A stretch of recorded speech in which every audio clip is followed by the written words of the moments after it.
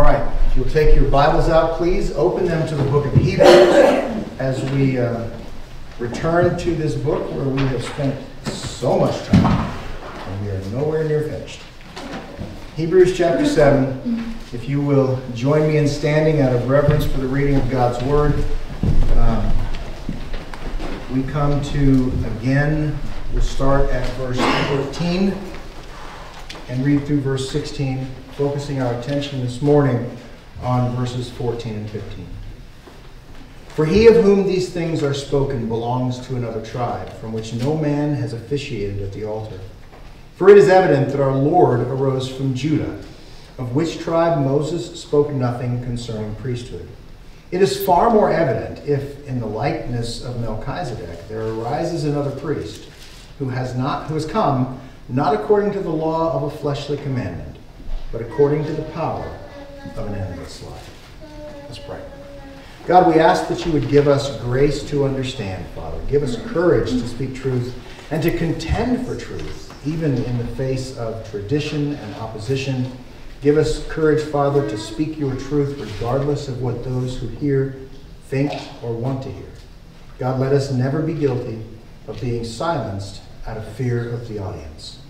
God, we just pray for your mercy in all that we do. In Jesus' name. Amen. Amen.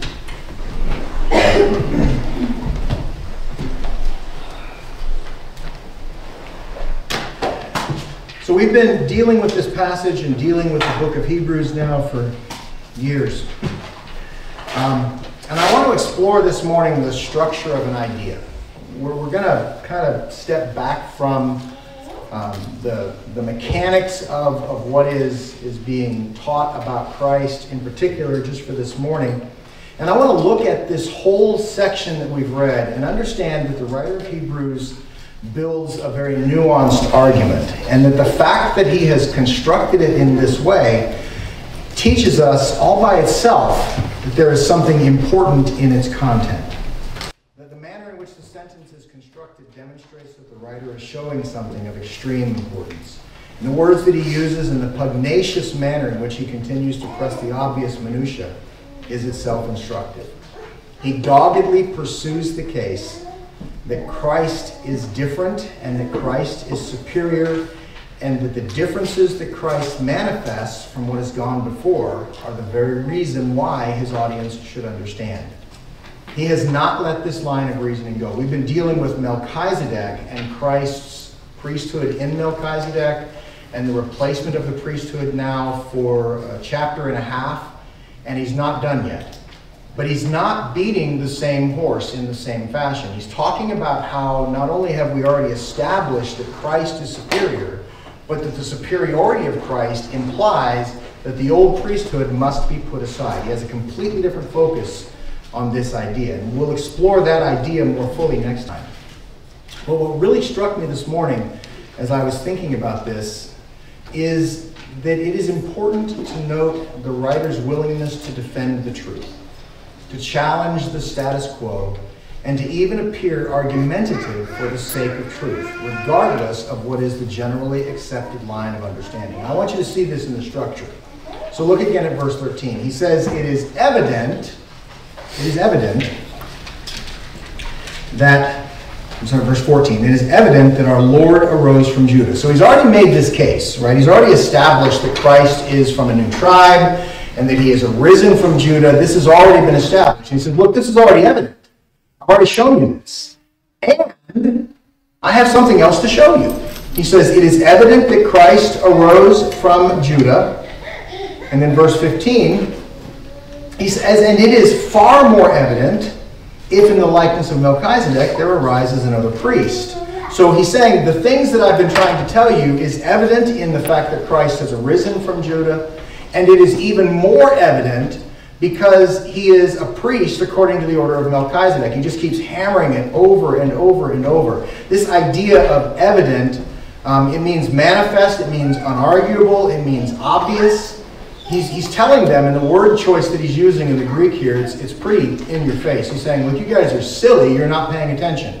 This, this can't be argued. Christ is, is not out of the order of Levi.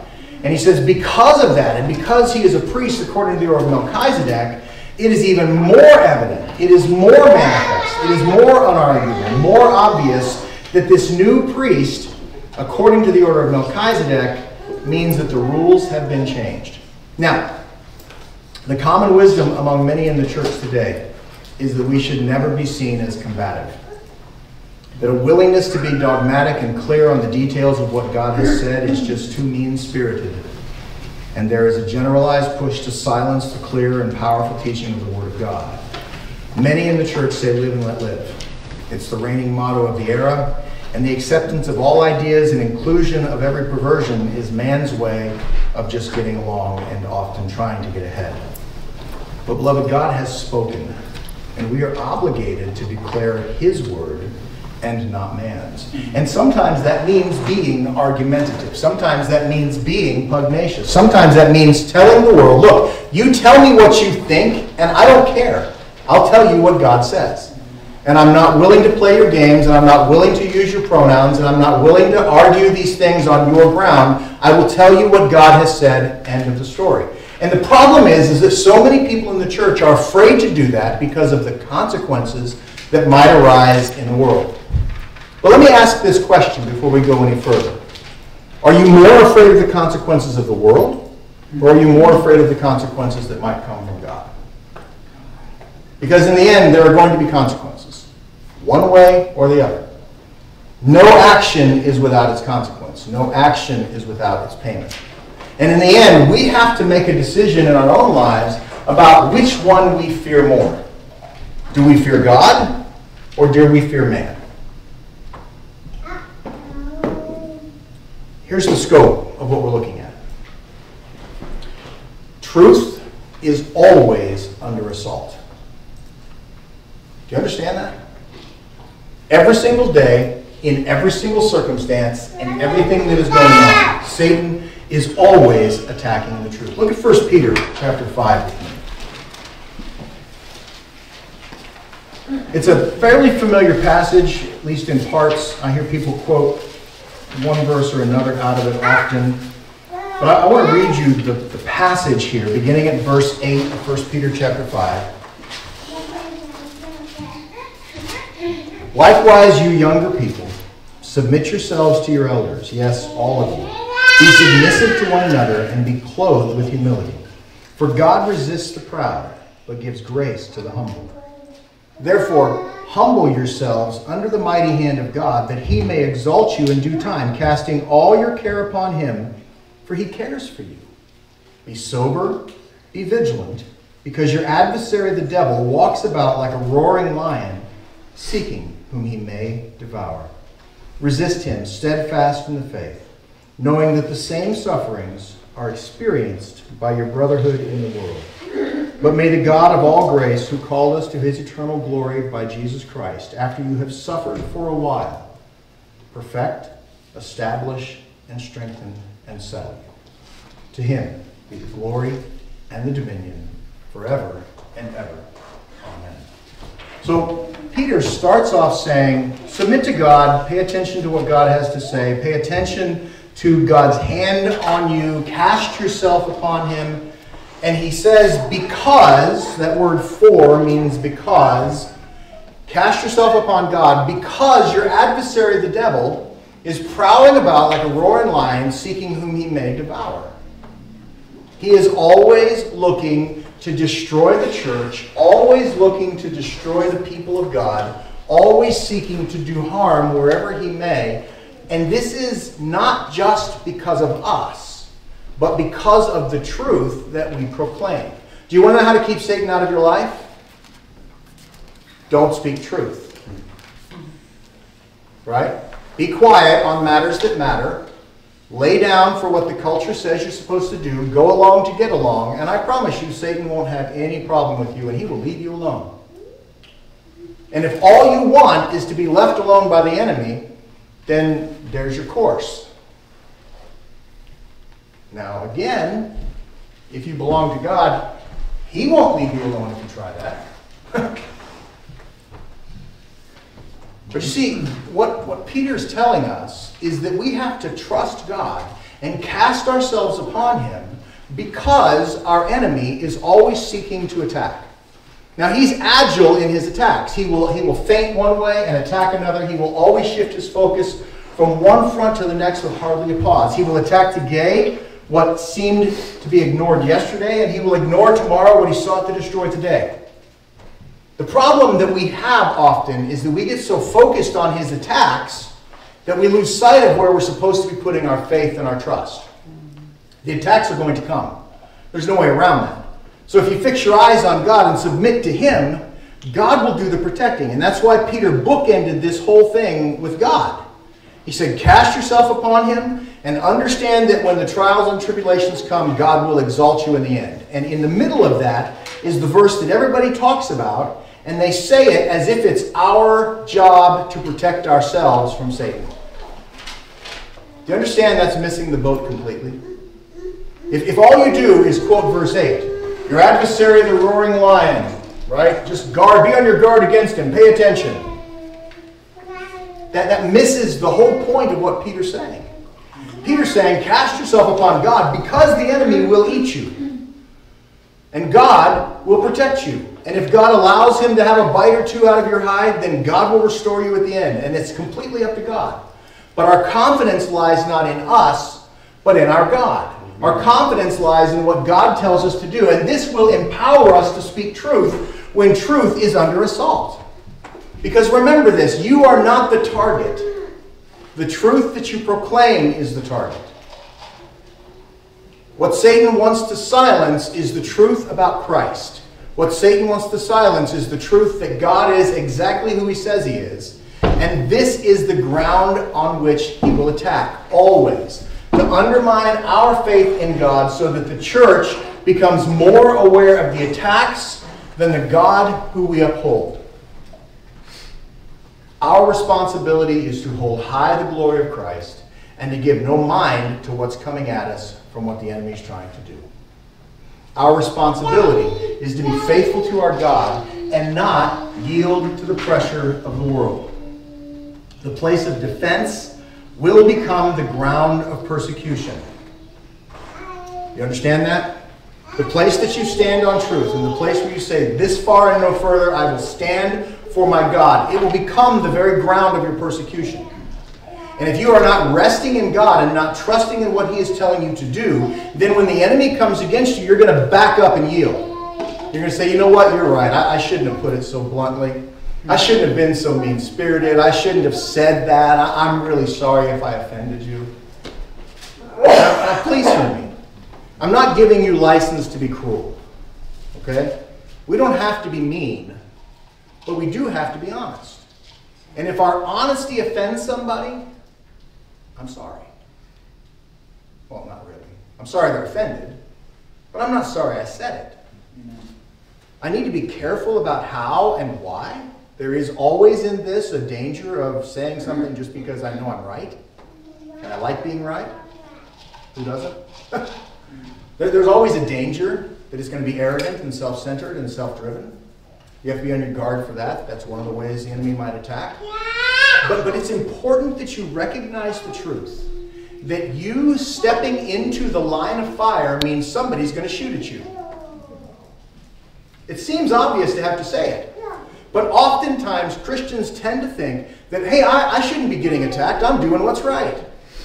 That's exactly why you'll be attacked. That's exactly why the enemy comes against you, because you're doing what's right, because you're speaking what's true. So don't let it silence you. Go in with your eyes open. Go in being aware of what's going on around you. Situational awareness, head on a swivel. Pay attention to what's going on. But understand that doing the right thing does not protect you from attack, it guarantees it. Beloved, if you're not being attacked on some front, you're probably not doing anything for the kingdom. I don't know what to say. If your life is completely perfect and you are not under assault on some front or another, there is a problem with how you're following God. Because God promises persecution. He promises that the ground that we defend becomes the place of obedience. Because in that defense and in that persecution, God tries our patience and refines it. in that place of defense and in that place of persecution, God refines our obedience. He tests us and makes sure that we are willing to obey and teaches us to obey even when nothing else makes sense. And He will also refine our patience. And He will grant to us faith that grows and grows. All of these things come out of persecution. They come out of us standing for what is true and defending the truth against all assaults. Now, in order to defend the truth, you have to first understand the truth. So there's a little bit of homework that you have to do. It's called reading your Bible and praying and spending time with God. You can consider that your daily assignment. You can consider that arming for war. That's why Paul talks in Ephesians chapter 6 about putting on the whole armor of God. That's, that's not just a helpful passage, that's a daily exercise. Pray through the armor. Ask God to give you the grace to put on each piece and to walk in the grace and the truth that he gives to you. Listen to how Paul describes it in 2 Timothy. Verses 13 and 14 of chapter 1, he says, Hold fast the pattern of sound words, which you have heard from me, in faith and love which are in Christ Jesus. The good thing which was committed to you, keep by the Holy Spirit who dwells in us.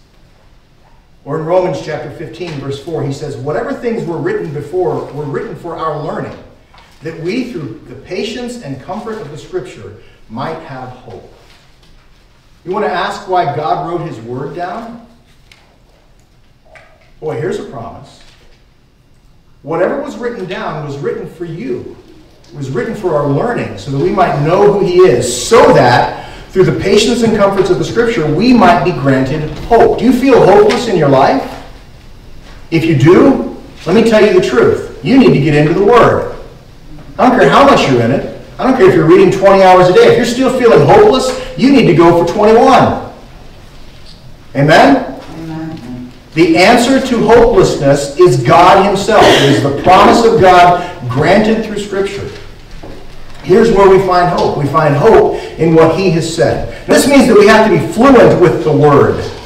2 Timothy chapter 3, starting at verse 16, says, All Scripture is given by the inspiration of God and it is profitable for doctrine, for reproof, for correction, for instruction in righteousness, that the man of God may be complete, thoroughly equipped for every good work. I charge you, therefore, before God and the Lord Jesus Christ, who will judge the living and the dead at his appearing and at his kingdom, preach the word. Be ready in season, out of season, convince, rebuke, exhort with all long suffering and teaching. Look, we need to be aware of the trends and patterns that are coming against the church from the world. We need to have our eyes open to what's going on around us so that we know how to apply the word to those situations. But we need to be experts in the word. We need to be a focused people that the word is our everything. It is our go-to. It is our reason. It is our answer. It is our commission. It is our power. It is our weapon. It is our defense. It is everything that we need. If we are not a people of the Word, we are running into battle absolutely unarmed and defenseless in every conceivable way. And it requires us to be faithful to seek God in everything He is and to be obedient to His commands. We do need to understand what's coming against us. In Paul's day, it was the Judaizers. Those who said that in order to be a good Christian, you have to first become a good Jew. They sought to shackle the church back under the bonds of slavery that the law was, in spite of the fact that God had made it very plain that they were delivered. In John's sphere, it was the Gnostics, dispensers of secret knowledge that didn't come from God, these, these hidden words that God himself did not say. It wasn't consistent with the given word of God, and it included many false ideas about Jesus. It included on one gamut the idea that Jesus was pure spirit, didn't have a body, so the resurrection was a falsehood. And on the other side, it, it, dealt with Jesus not being God, that he was just a really wise man. All of these things are false, and they're things that John specifically addressed in his writing. In the realm of the early church and the spread of the church, we find men like Simon the sorcerer, who sought to buy and sell the gifts of God. He was rebuked sternly by the apostles. And then there were always men like Alexander the coppersmith, who Paul says did him much harm. And he warned Timothy to beware of him, for he greatly resisted the word of truth. You see, we have to be willing to engage in the conversation between the Word and the world. And we need to understand that all around us, the world is seeking to silence the Word.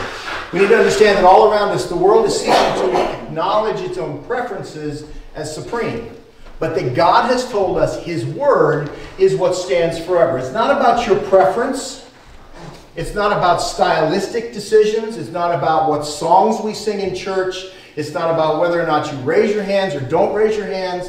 It's not about any of the things that we want to get distracted by. What it is about is do we stand upon the Word of God or do we stand upon our own preferences and ideas? At the bottom of it, that is the dividing line. The world will always choose self. The world will always choose my ideas, my preferences, my opinions. Now, where we get confused is occasionally you will find somebody who says, I desire this and I'm going to do this thing, and we'll look at the thing itself and say, that's a good thing. What's the problem? Right? I want to go to Africa and start a medical mission. I don't want to have anything to do with Christ. I just want to go help people get well. Well, that's a noble aim. Isn't it? Maybe. What's your motive? What's your intention? Who are you glorifying? See, we need to call to attention those things that are actually going on. We need to call to attention the motives that are underneath it because what is worldly might look good to us, and if we're not aware of what's going on, we're going to get sucked into something we have no business participating in. We need to be conscious of this. It is always a battle between the Word and the world. It's not about our style, it is about content, and it is about truth. And there is one question, one question only. What does the Word of God say about the matter at hand? Period. That's the only question that matters. Because God has spoken to every single thing that we need to be mindful of. And at the point that we veer the discussion off into our preferences or our ideas or our opinions, we have lost the only ground that is defensible. Does that make sense? We have to be just hyper vigilant about staying focused on the Word as central to everything that's going on. And that's why the writer of Hebrews gets so obnoxious about this. He says, Look, this is evident, and it's even more evident, and it's even more evident. And you need to understand this is evident. He just doesn't stop.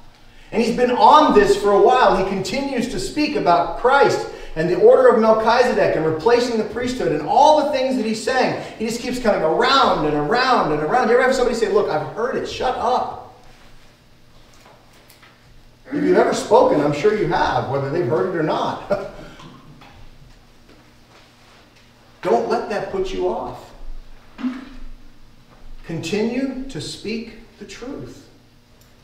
Because in the end, if we will not speak the truth, we are not doing what we're called to do. The church's job and your job is to stand firm on the Word of God and to proclaim the Word of God faithfully according to what He says and not according to what we desire.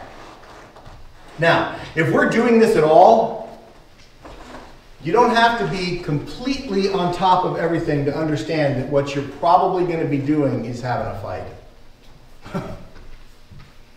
and you have to be willing to fight for the truth. You have to be willing to stand up for what is real and what is right and what is true and proclaim the truth even against everything else that is fighting against you. And sometimes to fight for the truth is to press its advance against old ideas. For instance, Galatians chapter 2, starting at verse 3. Paul writes this Yet not even Titus, who was with me, being a Greek, was compelled to be circumcised. This occurred because of false brethren secretly brought in, who came in by stealth to spy out our liberty, which we have in Christ, that they might bring us again into bondage. What's he talking about? He's talking about the work of the Judaizers. He's talking about those who sought to enslave the church back to the Old Testament law. Now, you might think to yourself, this is dead and gone. Nobody's doing that anymore. I promise you.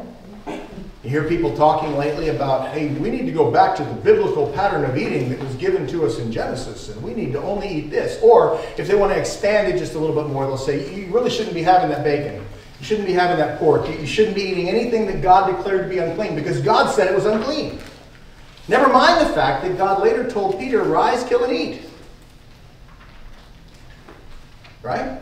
But why do they do it? They do it because they want to enslave you to the law. They want to enslave you to something that you can do, and by doing something, you think that you are buying favor with God.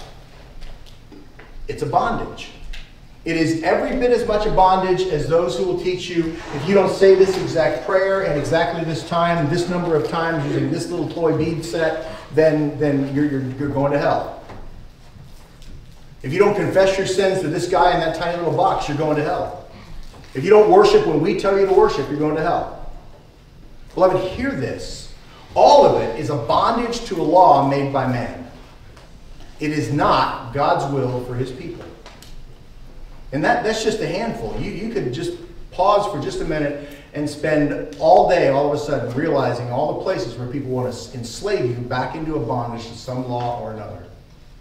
We have in Baptist circles too. There are churches where they'll tell you, hey, look, ladies, no pants. Gentlemen, I don't want to see any hair touching your ear. And all you guys in here that don't have a tie on, you're flat out. Go home.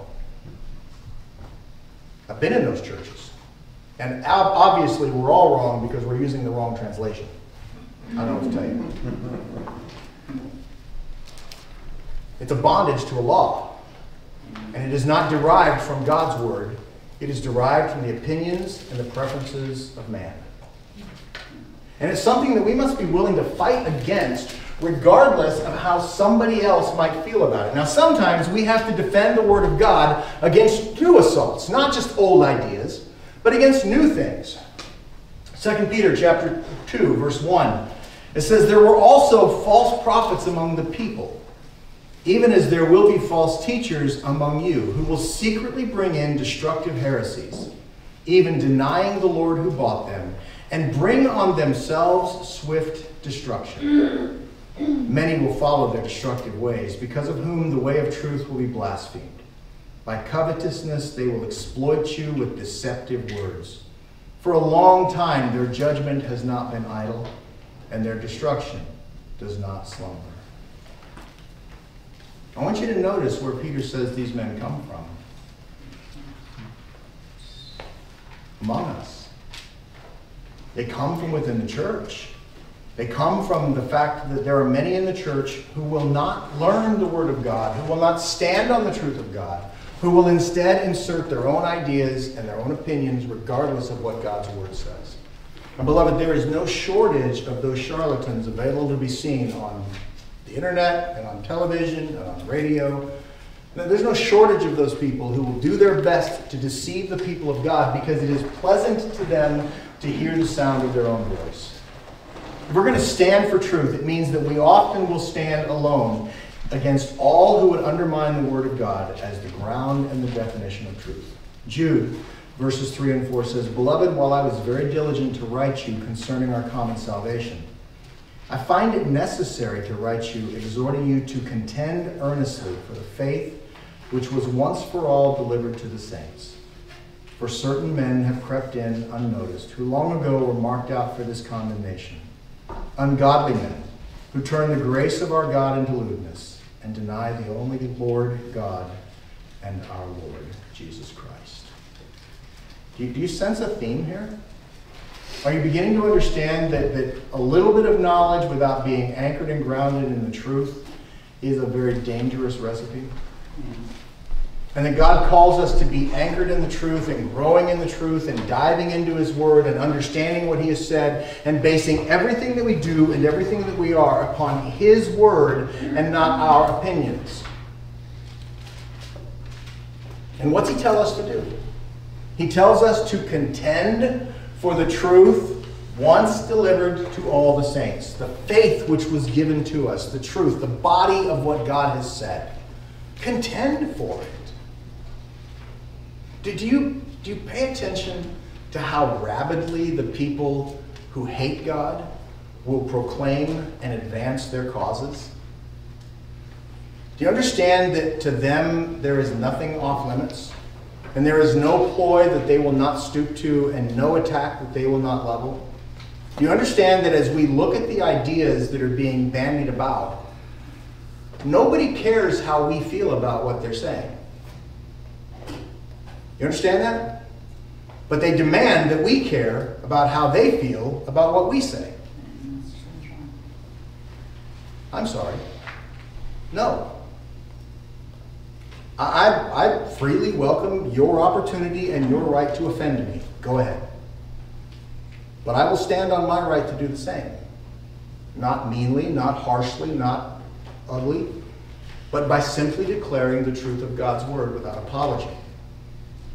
By demanding that God's word be given the credit that it deserves. It is not my opinion, it is the very truth of God. And here's something I want you all to understand.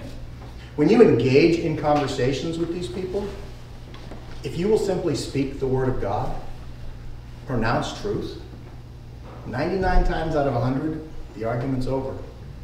They don't want to play with that. There is spiritual power in the truth of God's word. And they don't want to hear it, they don't want to argue with it, they don't they just shut them up. Speak the word of God, but don't give them your opinion. Don't tell them, well, I think.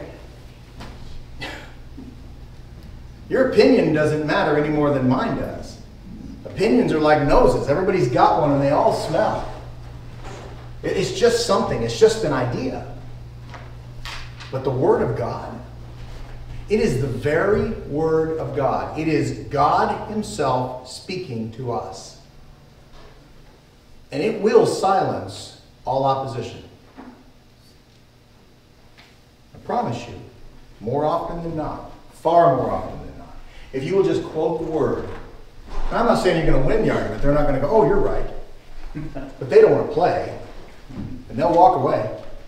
They'll shut up.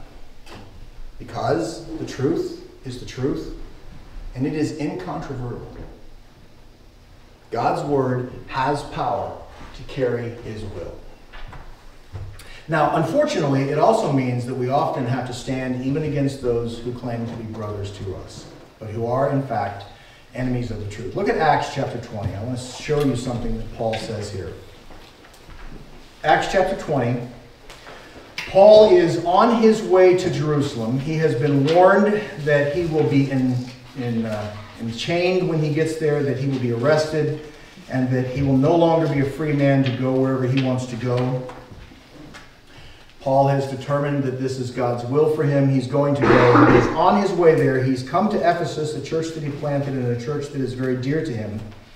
And he is seeing the elders at the church at Ephesus for what he is convinced is the final time he will ever lay eyes on them as a living man.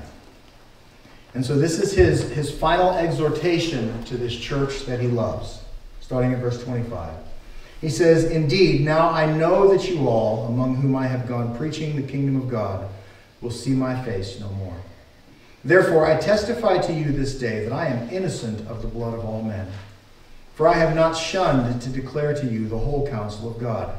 Therefore, take heed to yourselves and to all the flock, among which the Holy Spirit has made you overseers to shepherd the church of God, which he purchased with his own blood.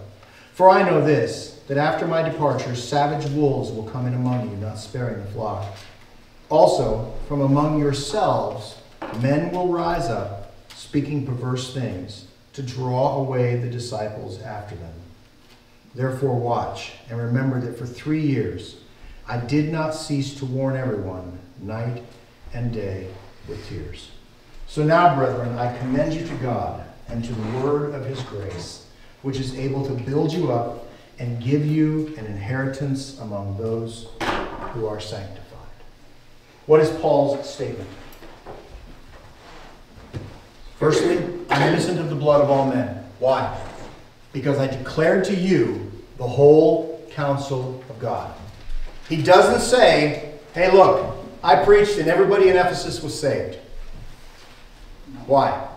Because it didn't happen. But he does say, I faithfully proclaimed to everyone that I spoke to the entire counsel of God, and I am thusly declared innocent of their blood. I am free of the fear and the guilt that I should have said something I didn't say. I spoke the truth. And then he gives the, the elders this warning. He says, Look, you guys, I am entrusting this church to you. I have already entrusted this church to you, and you are those who are watching out for the church of God. And he gives this incredibly powerful connection. He says, It is the church of God which he purchased with his own blood. But God has entrusted it to us to care for, to guard, to protect, to defend. And he's telling these elders, pay attention. Because there will arise up from among you yourselves men who will seek to take away the disciples of Christ and cause them to chase after demonic things. To what does he commend them at the end? To guard their hearts so that they might in turn guard the church. What's he say? Verse 32. What is it? Now, brethren, I commend you to God and to the word of his grace. What's he talking about? The scripture, which is able to build you up and give you an inheritance. Look, Paul tells the church at Ephesus look, among the, even the elders, men are going to rise up, they're going to try to lead people astray. Even among those who are godly, even among those who are good, there are those who will seek to destroy the work of God. Do you think that's still going on today? Yeah. Amen. All the time, all over the place. So we have to learn to recognize the difference between those who obey God and those who don't obey God. We have to learn to understand what are the marks of his presence upon a life. Philippians chapter 3. Paul writes this starting at verse 17. He says, Brethren, join in following my example and note those who walk as you have us for a pattern. So pay attention to my life. For many walk, of whom I have told you often, and even now tell you with weeping, that they are enemies of the cross of Christ, whose end is destruction, whose God is their belly, and whose glory is in their shame, who set their mind on earthly things. For our citizenship is in heaven, from which we also eagerly wait for the Savior, the Lord Jesus Christ. These are harsh and condemning words. And they are words that send a chill down my spine. It's something that we have to wrestle out. And in the end, if we're going to know who we are and whose we are most effectively, we have to live for the truth that we are contending for. Make sense? It can't just be words. It can't just be, oh, I know all the right answers. I've read my Bible, and boy, howdy, can I whip you up with it. It's not how it works. We have to be willing to live what we profess. We have to be willing to do what God tells us to do. Again in Philippians verse, chapter 1, verse 27 says, Let your conduct be worthy of the gospel of Christ. Period. Let your conduct be worthy of the gospel of Christ so that whether I come to see you or I am absent, I may hear of your affairs that you stand fast in one spirit, with one mind, striving together for the faith of the gospel.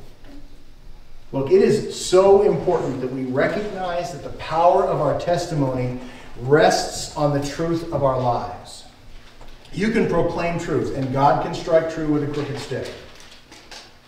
But if you want a consistent witness that is going to consistently convey the truth, of who Christ is faithfully according to his word, then you better be honest with yourself about the things that need to be changed in your life so that your life is a living testimony to his power and his truth. That's something we all have to engage with. It's something every single one of us has to wrestle out in the dark hours of the night according to the reality of our own souls. You know your own sin. I know my own sin. I know the things that I have to deal with, and I know the things that God is beating me about. And I understand what they are and I fight against them. You know yours. I don't have to tell you what your sin is. You understand what it is. Whether you want to admit it or not, that's a completely different question. But I promise you, you know. Because God's Spirit dwells in you. And part of what His Spirit does is to convict us of unrighteousness. He brings us to the place where we look at our lives and we look at our soul and we look at His Word and we say, you know what? What I say and what I do doesn't match up. God, please make me consistent. And not like the guy that had his thumbs, you know, make them both go that way, right? Make my hand like the other one. God doesn't make us consistent by making us all bad. He makes us consistent by carving out what doesn't honor him and by creating in us the character and the image of Christ. That's the purpose for everything that he does, according to Romans 8 29 through 30. It is to conform us to the image of Christ.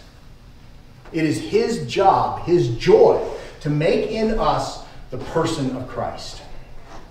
This is because God boasts the glory of his eternal plan as Christ is formed in you. We read the passage in Ephesians 3 fairly frequently, so I'm just going to read the two verses that are most cogent to this argument. But he says that everything that God does, he does to the intent that now the manifold wisdom of God might be made known by the church to the principalities and the powers in the heavenly places, according to the eternal purpose which he accomplished in Christ Jesus our Lord. So, as God succeeds in forming in you the character of Christ, you become his bragging point in the heavenly places.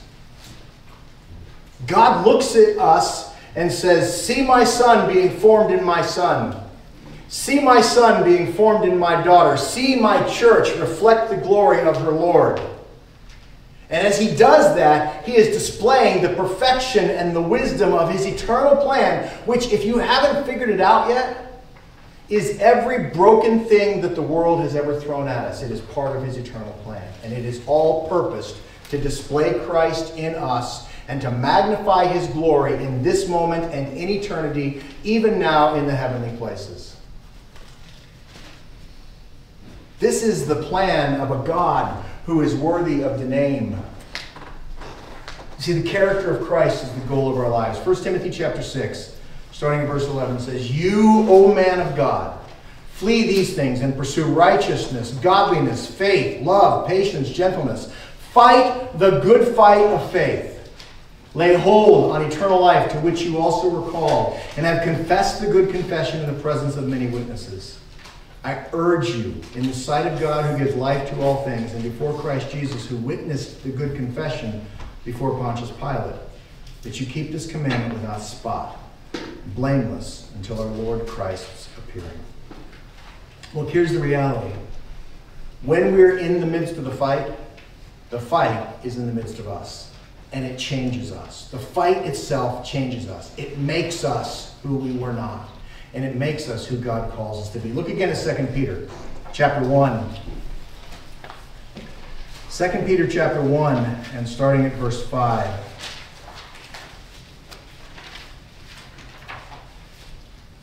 There's too much to get through. 2 Peter chapter 1 starting at verse 5. But also for this very reason, giving all diligence, add to your faith virtue, to virtue knowledge, to knowledge, self control, to self control, perseverance, to perseverance, godliness, to godliness, brotherly kindness, and to brotherly kindness, love. For if these things are yours and abound, you will neither be barren nor unfruitful in the knowledge of our Lord Jesus Christ. For who he who lacks these things is short sighted, even to blindness, and has forgotten that he was cleansed from his old sins. Therefore, brethren, be even more diligent to make your calling and election sure. For if you do these things, you will never stumble. So an entrance will be supplied to you abundantly into the everlasting kingdom of our Lord and Savior, Jesus Christ. And let me ask you a question. Where does the power come from to transform a life? It comes from God. It comes from His power, it comes from His hand. Now, here's the hard question, though. What vehicle does He often use to transform a life? Difficulties, right? Trials, hardships. Look at 2 Corinthians chapter 13. 2 Corinthians 13.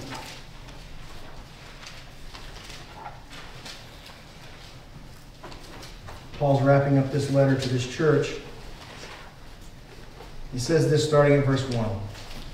Now, this is the third time I'm coming to you. By the mouth of two or three witnesses, every word shall be established. I've told you before, and foretell as if I were present the second time. And now, being absent, I write to you who have sinned before, and to all the rest, that if I come again, I will not spare. Since you are a proof of Christ speaking in me, who is not weak toward you, but mighty in you. For though he was crucified in weakness, yet he lives by the power of God. So we also are weak in him, but we live with him by the power of God toward you. Verse 5 Examine yourselves as to whether you are in the faith. Test yourselves. Do you not know yourselves that Christ Jesus is in you? Unless indeed you are disqualified. But I trust that you will know that we are not disqualified. When you have that conversation with your own soul, and you're forced to ask the question, do I even belong to God? You look at your sin, you look at your difficulty, am I even His? Beloved, coming through that conversation leaves you empowered. But I promise you, it's not a pleasant evening. It's not a walk in the park, although you may be walking in the park when it comes to bear. it, it is not something that, that is going to be quickly forgotten. And it's something that we as followers of Christ must be willing to engage with, to actually examine our souls and to look at ourselves and to recognize the difficulty and the trials that are in our lives right now, putting pressure on the places that God wants to change. Look, here's the truth. If you belong to Him and you start asking these questions, He's not going to throw you away because, oh, you dare to challenge my word. I've heard pastors say such things. You've said the prayer, you are His. Don't ever ask, don't ever question. You'll offend God and you might not ever be His now. No, that's not what the Scripture says. The Scripture says question, reason, examine, search yourself out, make sure that you're His. Why? Not because He's fickle, but we are, aren't we? And if you're not steady, certain, steadfast, sure, if you do not have the assurance of the Spirit dwelling in you, pressing into your soul, then what's going to happen when you're pushed? I got nothing. I'm going to crumble. I'm going to fall down because I'm scared of you and I'm scared I'm not His, so I have no place to stand. Beloved, we have to anchor this. We have to anchor it through the trials and through the difficulties, and we have to understand that no matter what happens, it is God's work to save a people. It is God's work to do everything that He has set Himself to do. And we have to also understand that the, the difficulty is real. Okay, let, us bring it back into the conversation of the writer of Hebrews and what he's addressing to the Hebrew believers. He's talking about them throwing away their entire tradition that was indeed given to them by God. Amen? We cannot undo 1,500 years of God given commands to Israel about how they were to live and how they were to worship and how they were to obey. And we cannot just poo poo it away and say, oh, it's not a big deal. This was a huge deal.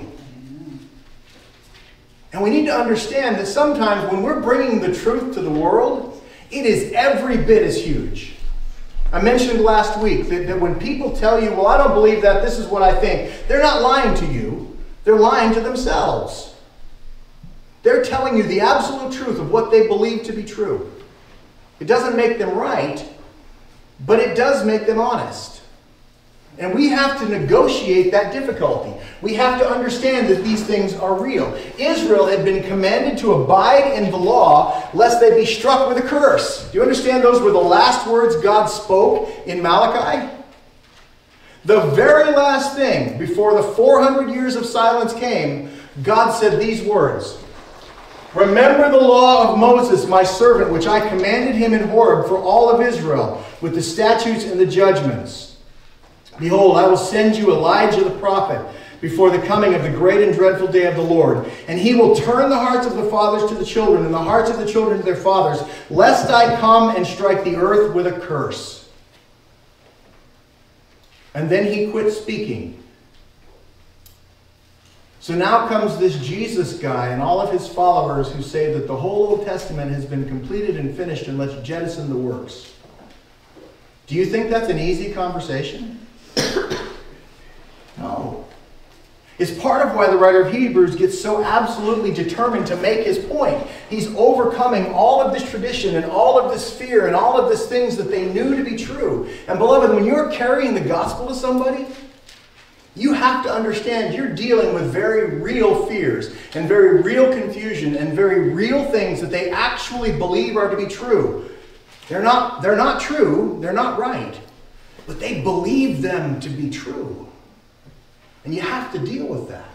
And you have to acknowledge that. You have to balance out this idea of, of confessing the truth and understanding that everything else that's going on comes to us through the will and the word and the purpose of God.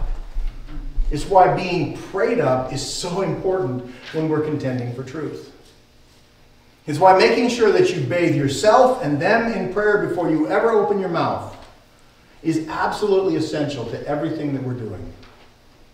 And it should be the constant labor of our hearts and the constant labor of our lives to be lifting up the lost in prayer, to be looking for opportunities to declare the word of Christ, and to see his name magnified.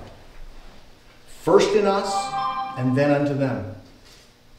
Our job is to proclaim this. And in the end, we have to be loyal to God and to God alone because God always brings us back to the ground of the cross.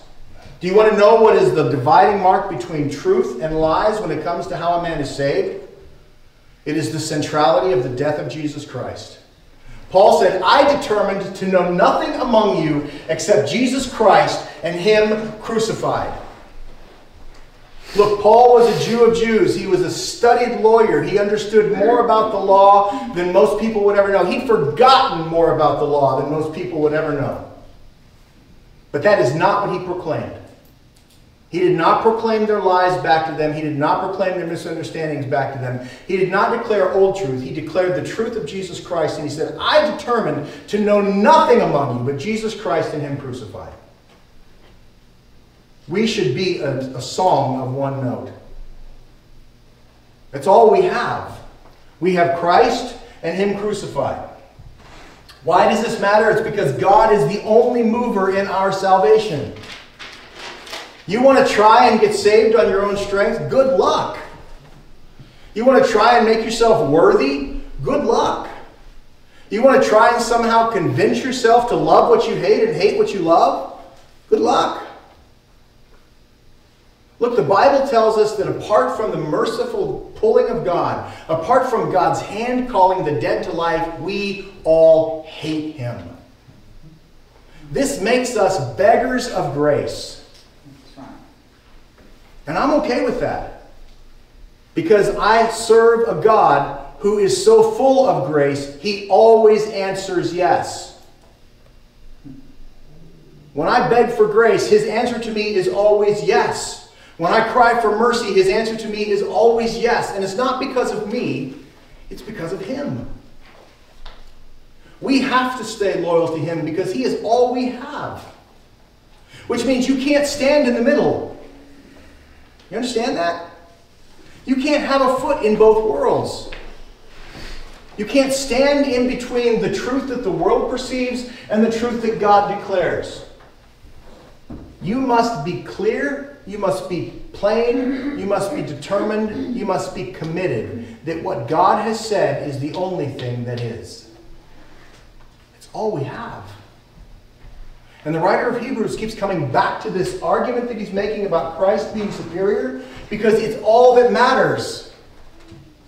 And he's not willing to get sidetracked on all the other things until he settles the ground of Christ and Christ alone. We can take a page or three from his book and do quite well. Do not get distracted on the side issues. Look, you want to go speak to somebody who's lost in some terrible sin. You want to go talk to somebody that's left his wife. You want to go talk to somebody that's lost in homosexuality or absolute gender confusion and all the strange things that come out of sin. You want to do that? Don't address those issues. Speak truth if they come up. But what they need to hear is Christ and Christ crucified. Declare the truth of who he is. God will take care of the sin. Repentance is required. Please don't mishear me. You need to urge them to repent. But you don't tell them, look, get cleaned up and then come to church. You don't tell them, look, sort out these things in your life and then God will be happy enough to save you. That's not how it works. We declare Christ, we declare Him crucified, we declare Him raised, we declare justification through His blood. And when they fall on their face before a holy God and cry for mercy, He will save them and then He will deliver them. That's our job. That's our calling. That is what we are supposed to be proclaiming to a lost and dying world. God is the ordainer and the fulfiller of all that He has purposed to accomplish in Christ. Look again at Ephesians chapter 1.